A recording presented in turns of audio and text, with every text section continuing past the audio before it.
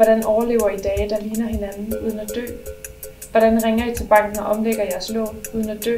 Det løfter din, din oplevelse af at have læst en bog eller have læst en forfatter. Sproget begyndte at æde mig, arbejdssproget blev til sproget, og sproget til en invasion. Sproget blev til invasion af kroppen.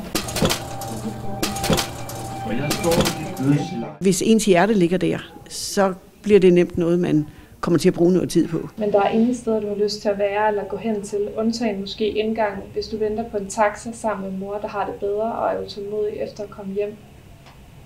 Men det er stadig et dårligt sted at være, hvis du venter på en taxa, og mor ligger død på første sal, og er død med sit ansigt så stramt ud over kraniet, at det havde været fascinerende under andre omstændigheder. Vi er med til et café Litnet forfatterarrangement i Studenterhuset Odense. De fremmødte har mulighed for at møde to aktuelle forfattere med fynske rødder. Henholdsvis Amalie Langballe, der er indstillet til Bogforums debutantpris for en roman om bearbejdelse af sorg. Fugerne fra skomagerens ansigt er forsvundet. Hans pande er glat som røven på et spædbarn. Henholdsvis Anders Vægter Nielsen, der i bogen 1533 har prøvet kræfter med en historisk roman om et drab i 1500-tallet. Formålet er faktisk at øh, støtte forfattere på Fyn. Øh, løfte litteraturen øh, på Fyn, og det, det er i nogle tilfælde også nogle upcoming forfattere, øh, som ikke er så kendte. Øh, og så er det at øh, få læsere til at møde forfattere og omvendt, for det vil de rigtig gerne.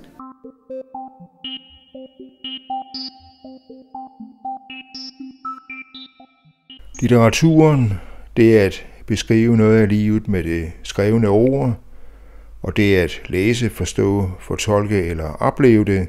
Stak åndet hyperventilerende. Palmernes mosgroede nordside. Vi har 42 grader i skyggen. Har vist sig at være en særdeles langtidsholdbar kunstart, der i en moderne digital og visuel tidsalder også har frembragt en stor interesse for ikke bare at sidde og læse alene, men også at få andre input om det, der er skrevet sort på hvidt. Det sjove er jo, at jo mere folk læser, jo mere vil de gerne tale med andre om bøgerne. Det, det boomer jo fuldstændig i, i de her år, og har gjort det i mange, mange år, hvor folk møder hinanden i læsegrupper, hvor de taler og taler om bøgerne. Og øh, samtidig så synes forlagene jo også, at det er virkelig fedt at øh, lave en hel masse øh, Øh, begivenheder omkring litteraturen. Det kan vi jo se her i næste weekend på Bogforum i København. Øh, og det, det er der en masse af, at de der bogfestivaler, litteraturfestivaler, de boomer også rundt omkring i landene. Der er rigtig mange af dem, og folk kommer, og øh, de er velbesøgte. Så det er ikke kun at læse, det er også at mødes omkring det. Vi vil også gerne møde forfatterne og tale med dem. Hvordan overlever jeg at miste jeres elskede uden selv at dø? Hvad så at sige det, jeg har brug for at vide det?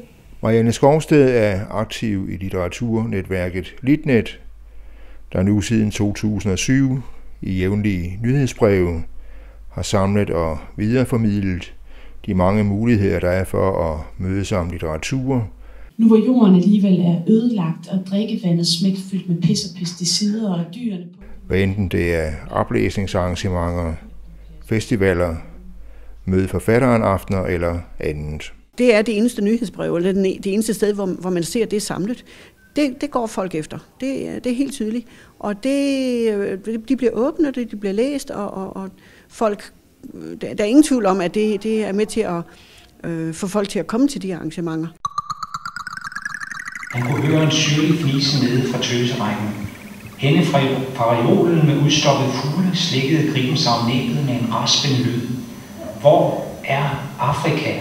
Udover at videreformidle de mange litteraturbegivenheder, der er på Fyn, så er Litnet også selv involveret i arrangementer i samarbejde med blandt andet Kulturmaskinen. Du ved da godt, hvem jeg er. Jeg har også haft nummeret. Det er bare blevet væk. Det er fortroligt. Hun vil heller ikke forstyrres, når hun er til julefrokost. Det har hun udtrykkeligt sagt. Biblioteket og et par lokale boghandlere. Hvem er landet?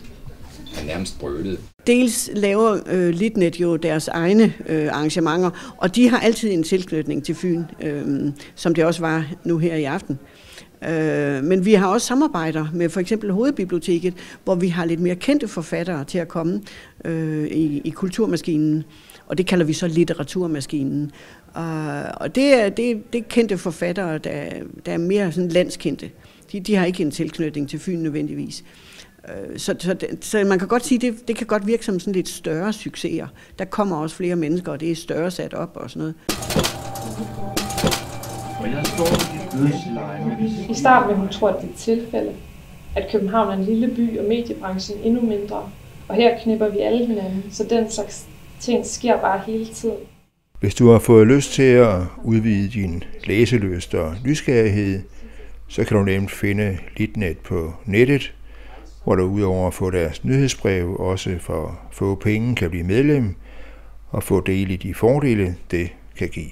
Du hører forfatteren forklare om det, møder andre, der også har læst den, taler med dem om det, men også at du øh, jo kommer gratis ind til, til de her øh, caféarrangementer som, som medlem.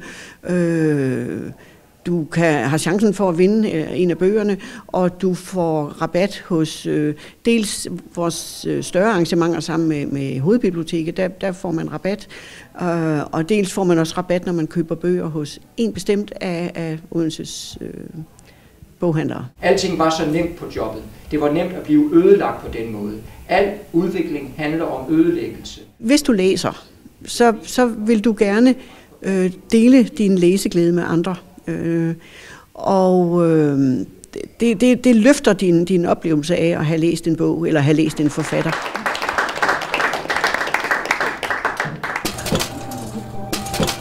Og jeg står i